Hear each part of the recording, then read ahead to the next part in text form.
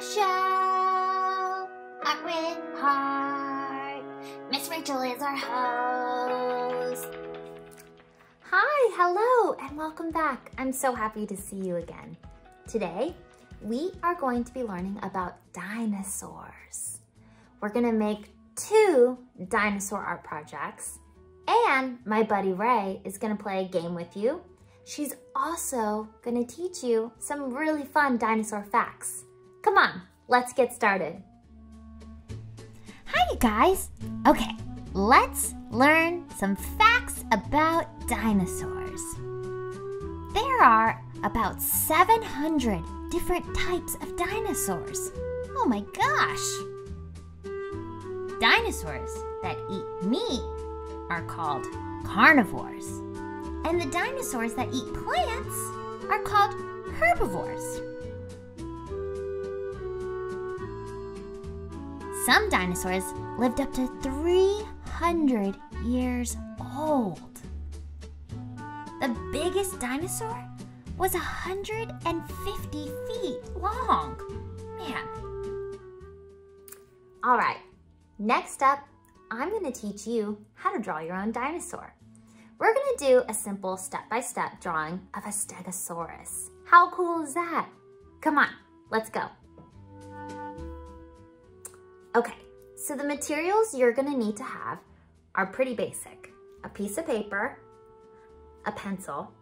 I'm using some Sharpies, but you can use some markers or crayons. And I'm also gonna use some watercolors to fill it in. But you can use whatever you want. If you wanna use watercolors to color your dinosaur, if you wanna use crayons, if you wanna use markers, if you wanna use color pencils, you get to choose whatever art material you want. Basically, you're just gonna need a piece of paper and a pencil. And then the other materials that you wanna decorate with, I'm gonna leave up to you to decide. Okay, let's get started. All right, so our step-by-step -step drawing of a stegosaurus. I have my pencil and my piece of paper. I have my watercolors over here. You can, again, if you want to, use a marker or crayons. I have this Sharpie black marker I'm gonna be going, um, tracing around the outlines of my pencil with my paintbrush over here for my watercolor. And if I want to, I have a green marker right here to color. All right, so the first thing I'm gonna do is I'm going to make an arch shape. Okay, so I'm gonna start at the bottom and make an arch shape, just like we did with our rainbow. I'm gonna make an arch shape right here. And then I'm gonna go ahead and I'm gonna add the head. The head gonna be in the front. I'll erase extra lines out afterwards. Just kind of doing basic ideas right now to get an idea. The tail over here.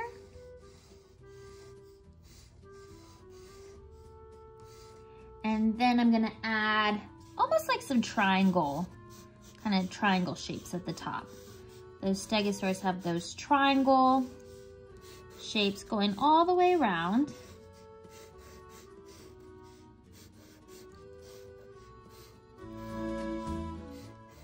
Kind of getting smaller on the tail. Over here, I might make the head a little bit bigger. Again, I'll erase out anything afterwards. Make some little legs over here. Little legs over here. There's kind of my basic outline of my Stegosaurus. Now I'm gonna go through and I'm just gonna erase out all of the little extra pencil markings that I don't need. Great, so now I kind of have the basic shape. I'm gonna go and I'm gonna trace around my pencil with a marker just to make it stand out a little bit more. You can choose to do the same or you can just go ahead and start coloring and decorating and adding a face to your Stegosaurus. I'm gonna get this black marker and I'm gonna carefully trace my pencil just to simply make those lines stick out a little bit more.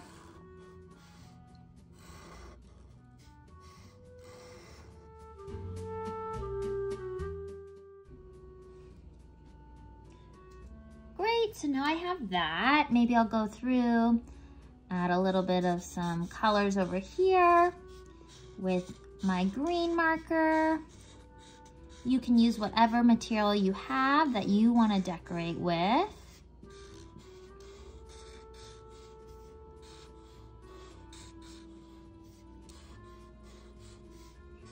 Just adding in over here.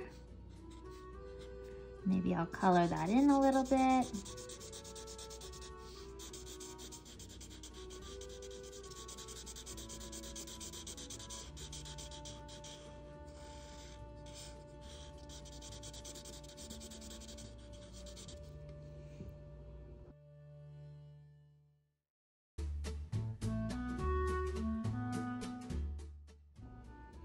Great, so I have all of that colored in.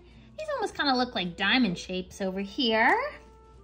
I'm gonna add an eye to my dinosaur and a smile. And then I'm gonna go ahead and finish off my Stegosaurus by painting in the rest of these colors with my watercolors over here. Carefully paint that.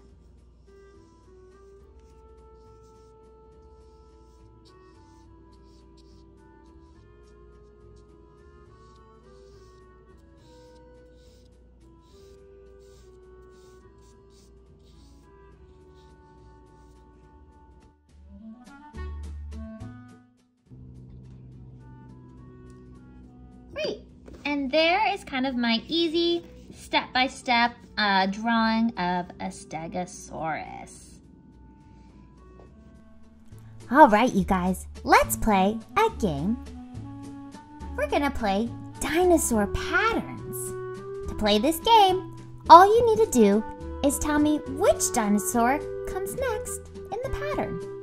Okay, let's look at our first pattern. We have a blue dinosaur, a yellow dinosaur, a blue dinosaur, a yellow dinosaur, a blue dinosaur. What comes next? Yeah, it's a yellow dinosaur. Great job, you guys. Okay, next one. We have a dark green dinosaur, a light green dinosaur, a dark green dinosaur, a light green dinosaur. Which one comes next? That's right! It's the dark green dinosaur. Great job, you guys. Okay, this next one's a little tricky. Let's see if you can get it. I think you can. We have a red dinosaur, a blue dinosaur, a blue dinosaur, a red dinosaur, a blue dinosaur. What comes next? Yeah, that's right, a blue dinosaur. Uh-oh, we have two. Is it the blue dinosaur with its mouth open? Or is it a blue dinosaur with its mouth closed? That's right, it's the blue dinosaur with its mouth closed. Great job. Okay, next up, we have a blue dinosaur, a yellow dinosaur, a blue dinosaur, a yellow dinosaur, what comes next? That's right! It's the other blue dinosaur with its mouth open. You guys are doing awesome. Okay, next up. Ooh, this one looks tricky. We have a yellow dinosaur, a red dinosaur, a green dinosaur, a yellow dinosaur, a red dinosaur. What comes next? That's right, a green dinosaur. You guys got it. Man, that was a really fun game. Thanks so much for playing with me, you guys. You did an awesome job. Let's see what we're gonna do next. Come on. Wow, that was such a fun game. Okay, next up, we're gonna make a fossil.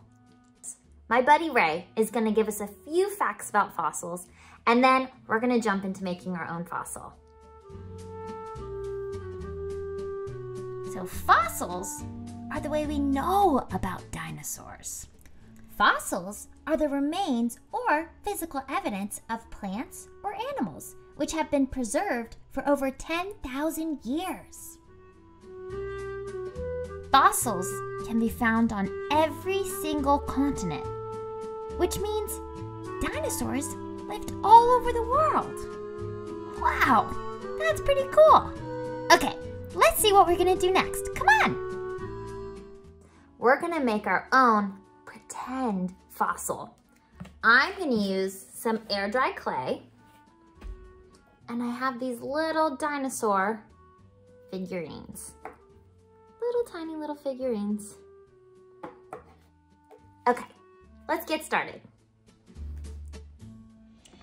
All right, you guys, so now we're gonna get started making our fossils. I have my dinosaur figurines over here. I have some wax paper laid down um, because I'm gonna be putting my air dry clay on here. You can also use salt dough um, or a different type of clay if you want to. I have some paints over here because I thought it might be fun to decorate our fossils a little bit. And I have a roller as well. Okay. I'm gonna start with my clay. I'm probably gonna make it a little bit smaller than this. Uh, I'm gonna go ahead, warm it up in my hands, roll it around. Kind of roll it around. And then I'm gonna press it down. Once it's in that ball shape with my palm, move my paints out of the way so I don't get them. Roll, roll, roll. Like to hold down my wax paper. As you can see, it can move. So I hold down my wax paper as I roll flip over, roll, roll, roll. I don't want it to be too thin. I still want it to be pretty thick, um, kind of like a thick pancake almost. And then I'm gonna pick my first dinosaur. I think I'm gonna choose this guy over here. You wanna decide what side you want your dinosaur to be, the print to be. So whatever side you put down onto your clay is what side the print's gonna be. So you are going to carefully Actually, I think I'm gonna do this side. Carefully press, leaving that imprint over here, kind of press down. And then we're gonna carefully peel it up. And there's your first dinosaur fossil. Just like that. So it's an imprint into our clay. But a real fossil would be that imprint in the ground and the dirt, huh? Okay, next, I'm gonna set that to the side. And I'm gonna make another one. I'll show you again.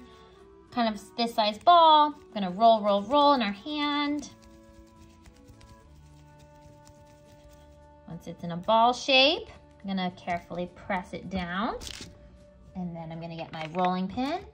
Roll, roll, roll flip over, and roll, roll, roll. And then I'm gonna choose another dinosaur. Let's see, I'll choose this guy. Again, remembering what side we wanna put our prints on. I'm gonna put my print this way, get that tail also. So it's kind of hard, so I'm gonna kind of bounce it back and forth to get make sure I get the tail and the head all in there And there.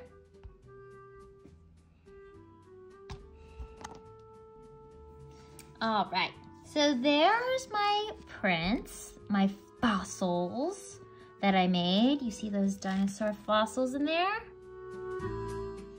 Now, I'm gonna paint these a little bit. Um, I'm first gonna maybe start with blue. Gonna paint the inside blue. You can paint these however you want to. Maybe you wanna paint the whole thing. Um, maybe you just wanna paint the inside. It's totally up to you.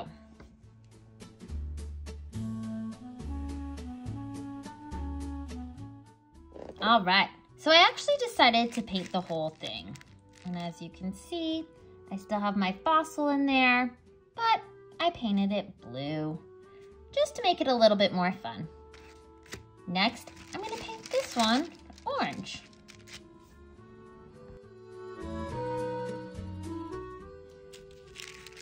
All right, so this one I just decided to paint inside where I left that dinosaur print.